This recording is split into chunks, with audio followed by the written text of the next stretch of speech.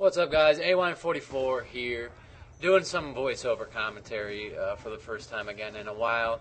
Um, I've just been non-stop posting just regular old gameplays. Um, if you have uh, been following the channel at all, regular gameplays or some uh, gameplays with YouTube music.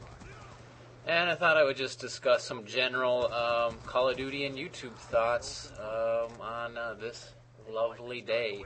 Uh, this actually, this first clip here was just kind of a crazy little start to a ground war match that I was in a while back. Uh, for some reason, I saved it. I thought it was really fun there at the beginning when I just uh, got to run into that room there and pick up like four tags. Uh, none of them were my kills actually. Um, and then it kind of gets laggy here, but I go on a, a nice little run, and then I have a pretty quick um, kill confirmed uh, match on Slums. Um, and that match is from the Murder Authentication Live series. I think it was about the fourth or fifth, maybe, uh, uh, game episode from that series. And uh, that was one of the things I wanted to talk about is kind of uh, my main channel um, that got this whole YouTube Call of Duty thing started off for me and uh, some of my friends personally is over at TPL Gaming, and uh, so I'll actually post uh,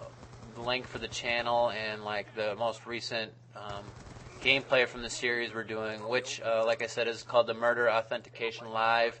It was from um, I think it was from March. Um, we did a it's three studs and three duds um, series, playing kill confirmed uh, with myself, periferalFinn, and Mr. Owl. And periferalFinn's point of view, he did all the recording, so you can hear our um, bitching nonstop about lame deaths, not getting our kill kill streaks, but uh, putting up some big scores and winning some matches. That is a good time. And then uh, Peripheral Finn actually has a side channel. Um, if you're unaware, if you know who that is, um, if you're seeing his comments on uh, my videos here, anything like that, he has a series going um, where we did what we called the Crazy Eight Challenge, where there was six of us playing, and we just tried to get uh, one win on all the main um, core uh, game types. Uh, kill confirm, dom, demolition, hardpoint, headquarters, uh, search and destroy, team deathmatch, um, capture the flag. I think that was the eight if uh, I didn't miss one there.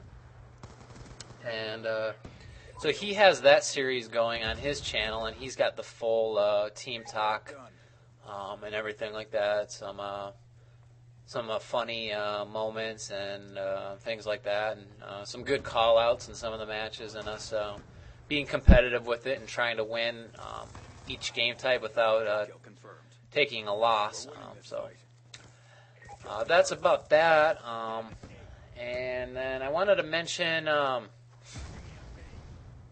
Well, it, I wanted to mention these two uh, famous YouTube channels for Call of Duty, Xcalizorz and Sandy Ravage. Um, they're the two channels that got me back into playing Black Ops 2. I played a lot in November and like into December, and I just was really frustrated with this game. Just various things I was frustrated with. I was frustrated with connections and how they domination is two halves now, and just all sorts of stuff. Like the list was endless of how many things I hated about this game, and I kind of stopped playing in like January, and um, I have been a subscriber to those guys for a while, and I just kind of went onto YouTube and saw they were both um, uploading uh, Black Ops 2 um, into February still, which. Uh, I thought that was a little surprising. Excalizor only posted Modern Warfare 3 for like the first couple months it was out. Sandy Ravage is kind of. I've always been more of like a Modern Warfare 2 guy. Um, and uh, so I was surprised to see that those guys were uploading. And not only are their gameplays and their videos really entertaining, um, but uh, I picked up a lot of stuff. Like I realized that they were they would use scavenger a lot and they would use C4 a lot. I think I've talked about this before. Um, so but I guess I'm just kind of giving credit to those guys, even though they don't would never hear me saying that or anything like that. Whatever though. Um, I know other things like you know using SMGs, playing kill confirmed, um, playing ground war. I guess if you can get a good connection and things like that. So um, That was good shit. And I, I just realized, I kind of realized this yesterday. Actually, it's weird because I watched a video discussing the differences between the quick draw attachment and the dexterity perk and stuff like that. But it made me realize, like, actually how different this Call of Duty game is with the, the uh, 10 point class system. And we were always so used to just, like, basic, the kind of the basic guideline for multiplayer. It was three perks. It was a primary gun with probably one attachment. It was a secondary weapon. It was. Uh, you know, like one grenade, and it was usually like for me, it was like almost always Semtex, you know, and it was uh, one one um, tactical grenade, which was like almost always like concussion grenades or flashbangs, and and this game like it was so different with the ten point class system and with how certain things that we were used to, like having sleight of hand, always meant reloading faster and aiming down sights faster. And if you wanted to reload faster now, you have to um, put the fast mags attachment on, and if you want to aim down sights faster now, you have to put the quick draw attachment on. And um, other things like how the steady aim perk uh, used to be like the two basic things about steady aim was that you could hip fire with better accuracy um, in most of the past Call of Duty games, and that you would recover from sprinting sooner. I think that was in some of the games, maybe Black Ops 1 for sure. Um, and if you want to have both of those abilities to recover from sprinting faster and to hip fire more accurately, it takes one attachment and one perk. So you really have to kind of think about it. And there's so many attachments in this game. That was another thing that I was kind of annoyed by. It was super overwhelming. Like like in Modern Warfare 3, it was like, all right, I'm using an SMG, so I'm probably going to have rapid fire or extended mags. You know, it was basic. Like, um, and Modern Warfare 3 is also like, I'm using assault rifle, so yeah, I'm probably going to use a red dot or extended mags.